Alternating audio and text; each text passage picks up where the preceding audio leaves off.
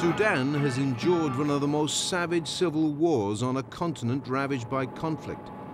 It has been stereotyped as the Arab North repressing the Christian animist South. Yet it is far more complex than this. The war began even before the British and Egyptians quit, when Sudan became independent in 1956. This film explains how this largely unreported war was waged and how it ended. The mighty river Nile flows through Sudan into Egypt, and throughout history, Egypt has intervened to control this river. In the late 19th century, Britain became dominant, and British administrators tried to curb the slave trade in the south. In 1881, the Mahdi led a national religious war against foreign influence. In 1898, an Anglo-Egyptian army defeated the Mahdi's forces. This established British imperial control of the Upper Nile and set a precedent for great power intervention in the country. Sudan was officially ruled by Egypt and Britain. But Britain took the main decisions, one of which was the establishment of a separate system of imperial government in the south of the country. Britain agreed to grant Sudan independence in 1956. But a year before that, a secessionist anti-Muslim military mutiny took place in the south. For the next 50 years, the North-South divisions were to dominate Sudanese politics. And the pattern of government in Khartoum tended to be dictated by military coups. In 1958, General Ibrahim Aboud's coup toppled the civilian government the military regime could not stop the ruinous civil war in the south, which was led by the Anyanya movement. Anyanya means snake poison, and the war was indeed poison to the economic development of the country.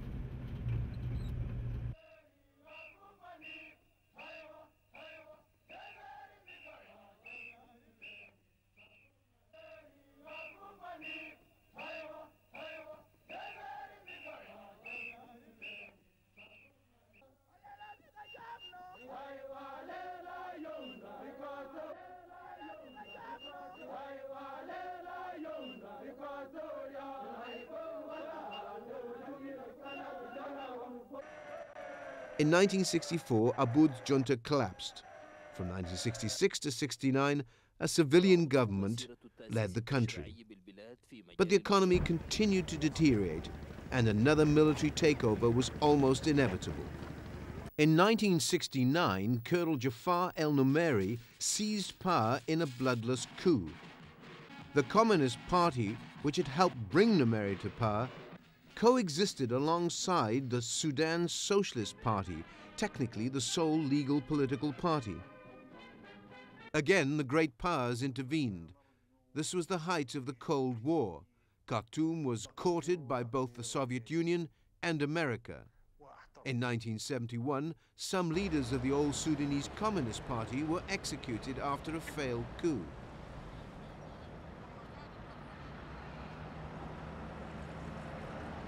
Numeri survived the coup. He stayed in power until the mid-1980s. In 1972, there was a ray of hope. The Addis Ababa Agreement brought a temporary end to the war in the south. The southern region was granted self-government, but not independence. And then, in 1978, oil was discovered in the south. Oil promised prosperity, but would it be shared equally? In 1983, the final and major stage of the civil war broke out. In the south, the Sudan People's Liberation Movement, led by Colonel John Garang, started operations. The movement and its army was always divided by tribal and political factors, not least whether a reformed Sudan should remain united or whether the potentially oil-rich South should seek total independence and orientate its politics to the African South rather than the Islamic Arab North. In 1983, President Numeri declared Sharia law, but it was not rigorously enforced in the South, Nevertheless, many in the south objected to diktat by Khartoum, whether in religious, economic or political matters. In April 1985, after Khartoum had been immobilized by a general strike and food riots, the military intervened again and there was an election in the north. Sadiq al-Mahdi returned to power, but the war in the south worsened, and so did the economy. Conventional politics and military rule seemed to have failed. Islamic ideologues offered a different solution. In June 1989, the National Salvation Revolution took over in a military coup. General Omar al-Bashir was the military figurehead, but the intellectual foundations were provided by Dr. Hassan al-Turabi, an Islamic scholar. Talks with the South continued, but the war went on. What was the war like? Very few war reporters got access to the battles. There was strict censorship in the north, and access in the south was limited, not least by the difficult terrain.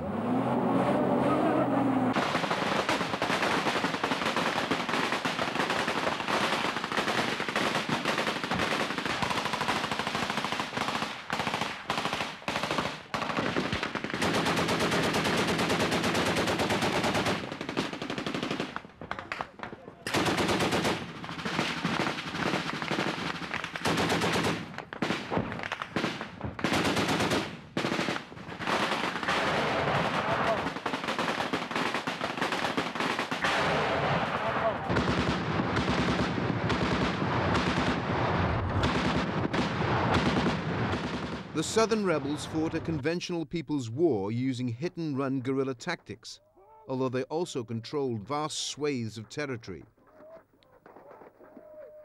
In the south, tribal hostilities often intervened, exacerbated by the government's use of tribally based militias. Southerners often fought each other. Millions of people were displaced, with many seeking refuge in the north.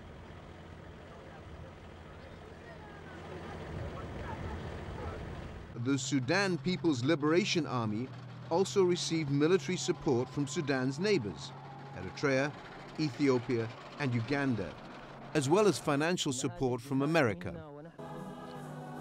A variety of African American and Christian right-wing groups supported the Southern Rebellion because they characterized the war as a pro-African or Christian crusade against Arab Islam. They also accused Northerners of conducting slave raids. Slavery, we have never known slavery in our history. It was only introduced by the, well, actually, colonially, actually, in the, in the last century. It was the Americans, actually. They are, uh, they are, are going towards elections, and they know the African Americans are very sympathetic with the Sudan for reasons which everyone should know, and they want to um, persuade the African Americans generally that the American policy against the Sudan is all right because the Sudan is involved in slavery. But e even in Western Europe, nobody mentioned slavery unless the echo of American propaganda is normally taken up by Europeans. There is absolutely no, no, not, no, no, no slavery in the Sudan. The Sudanese army and its allied militias performed relatively well by African standards.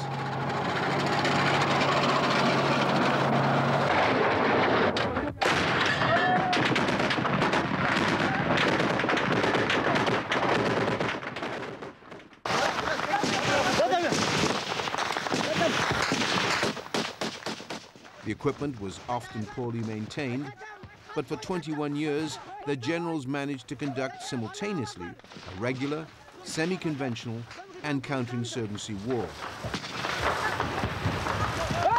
Get them!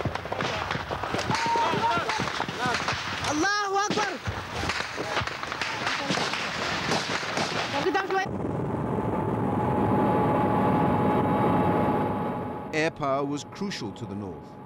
Bombing raids and the use of helicopters. The SPLA had no air power of their own. Both sides committed atrocities. Both sides talked at times, yet continued to fight. Despite the stamina of the largely conscript forces controlled by Khartoum, it became increasingly clear that there was no outright military solution to the civil war. The Khartoum government worked hard at mending fences with its neighbors and the Western world, but the war in the south went on. Washington was hostile to the Islamic administration in Khartoum. It wrongly likened it to Iran after the Ayatollahs took over. Washington was also concerned about the presence of Osama bin Laden. The Saudi warlord went to live in Khartoum until 1996. Washington described Sudan as a terrorist state, and various international sanctions were imposed by the United Nations, the European Union, and the United States. After the 1998 terror bombings of two U.S. embassies in East Africa, President Clinton ordered cruise missile attacks on an alleged chemical weapons factory in Khartoum.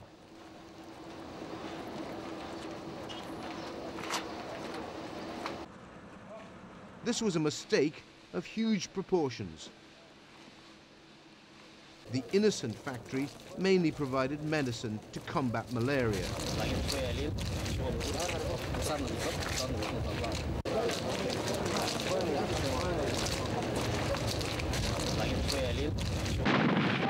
Sudan became internationally isolated as the war in the south intensified. By 1999, oil had begun to flow from Sudan and the economic gloom began to lift. But international trade encouraged international diplomacy, especially good relations with the United States. Within the ruling elite in Khartoum, tensions surfaced over relations with America and the conduct of the war. Hassan al-Turabi, the ideological mentor of the regime, was edged out of power in 1999. Although he was to suffer a series of restrictions, including imprisonment, the influence of Turabi remained powerful. Amidst the politicking, the ordinary people of Sudan continued to suffer. Two million southern refugees moved north to live in shanty towns. By March 2001, the UN World Food Programme was struggling to raise funds to feed 3 million facing famine.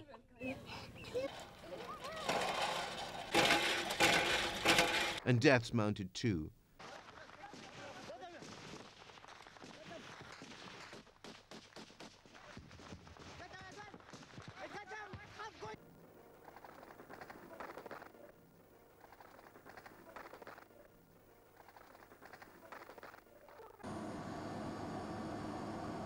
Perhaps two million people were killed during the war, although statistics from both sides are highly questionable.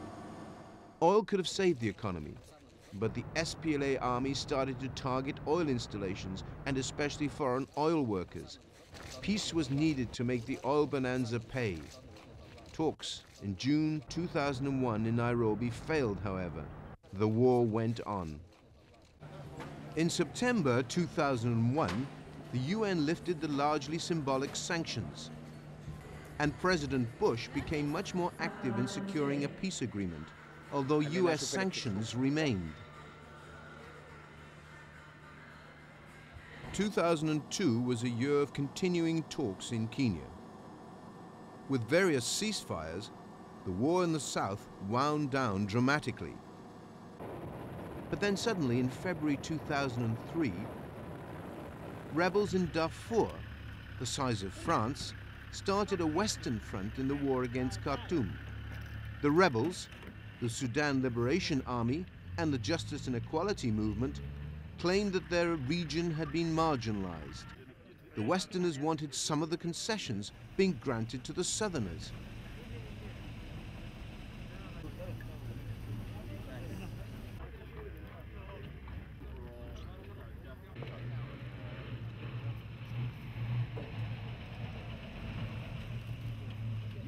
In January 2004, Khartoum sent in the army to quell the rebellion in the west.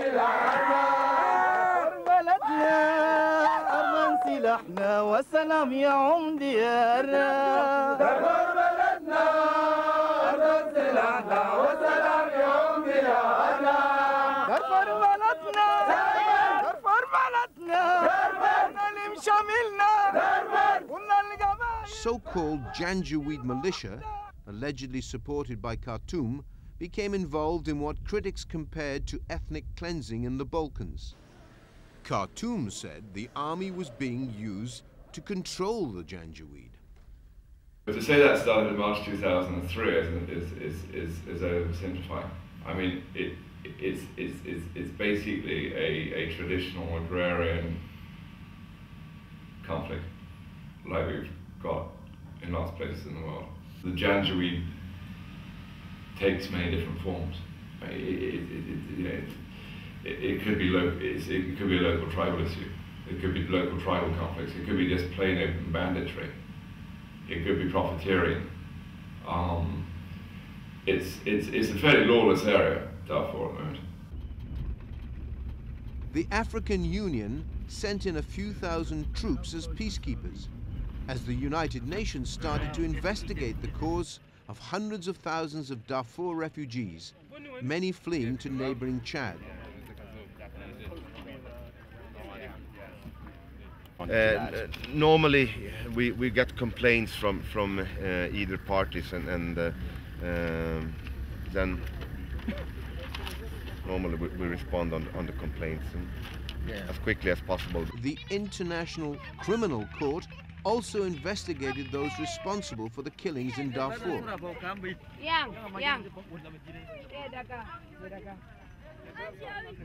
Meanwhile, in the east of Sudan, rebels formed a new united front.